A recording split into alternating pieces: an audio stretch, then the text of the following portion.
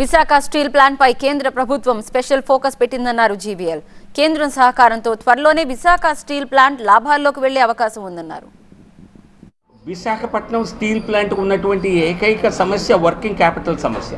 సుమారు ఆ working capital కనుక ప్లాంట్కి అందినట్లయితే సరైన సమయంలో మరి మూడవ బ్లాస్ట్ ఫర్నెస్ని కూడా ఆపరేట్ చేసేటువంటి అవకాశం ఉన్నది. ఇప్పుడు కేవలం రెండు బ్లాస్ట్ ఫర్నెస్ల్లో మాత్రమే పని జరుగుతోంది. సో త్వరలోనే మరి అటువంటి నిధుల సమీకరణకి కేంద్ర ప్రభుత్వం సహకారం అందించాలని నేను కూడా కోరటం జరుగుతోంది. ఇతర ప్రజాప్రతినిధులు రాష్ట్ర ప్రభుత్వం అందరూ కూడా సమిష్టిగా కోరితే అటువంటి చేయూత వచ్చి విశాఖపట్నం స్టీల్ ప్లాంట్ ఆరు నెలలు తిరగకుండానే లాభాల బాటలో పడేటువంటి అవకాశం ఉంది.